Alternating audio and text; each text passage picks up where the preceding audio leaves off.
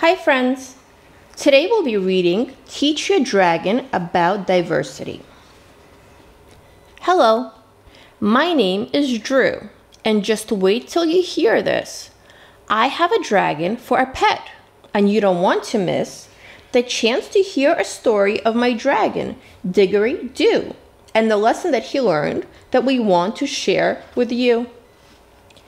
Diggory needed training when he came to live with me, because he was kind of naughty, as dragons tend to be.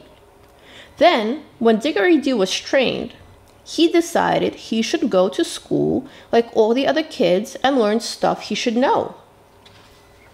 When Diggory Doo arrived at school, the children were excited. They welcomed him as their new friend, and Diggory was delighted. He flapped his wings and swished his tail, and all the children said, Wow, look at our new classmate with his scales of red. But when Diggory Doo got home from school, he was very sad. I'm not like the other kids, and that makes me feel bad. I'm the only one with wings and covered all in scales. And in case you didn't notice, no other kids have tails. Diggory Doo, I told him. Yes, you're different. This is true. But don't be disappointed that there's no one else like you. Besides, just take a look around. I think you will agree. You're not alone in being different. Have a look and see. For instance, did you notice that some kids at school are tall, while other kids are not so big and some are rather small? And though you are the only one with scales of ruby red, folks come in other colors too. And that's when Diggory said, Oh, now I think I get it, as he turned his frown around. My new friends Tony and Tyrone are different shades of brown. But Laura's skin is like a peach, with cheeks all rosy pink. Put us all together, we're like a crayon box, I think. Amber's hair is long and blonde, while Anne's is shiny black. Carla's curly hair of brown tumbles down her back. Some have hair of pumpkin orange like Patty, Sue, and Paul.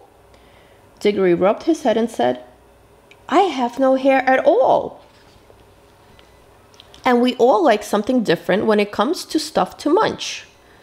Ping eats rice with chopsticks. Juan has tortillas for his lunch. Charles and Fred like chicken, especially when it's fried. Diggory said, I like a sandwich with ham and cheese inside. And when it comes to our beliefs, those are different too. Abdul says his daily prayers as many faiths must do. Tivia goes to synagogue, Maria goes to mass. On Sunday morning, Billy Ray goes to Bible class. Some kids play with baby dolls, others play with blocks. Theo throws the toys out and plays inside the box. Some kids wear their blue jeans, but Katie wears a dress. Dalton likes to dig in mud. His clothes are just a mess. Some kids use their mouth to sing, some use theirs to whine.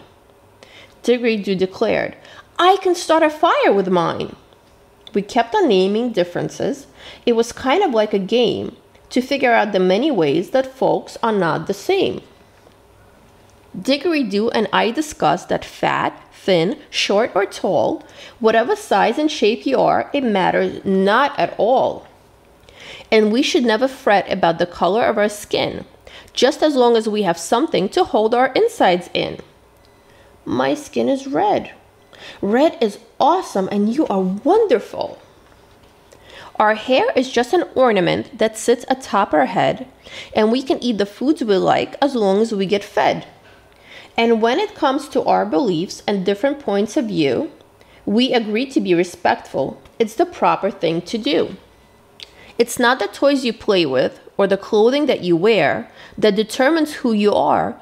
We shouldn't even care about what's on the outside, for it's what's inside the heart that makes each individual a precious work of art. Diversity is what it's called whenever we embrace that everyone's a special part that makes the human race. Diggory learned his lesson well. His heart is filled with glee. I have a lot of friends, he says, due to diversity.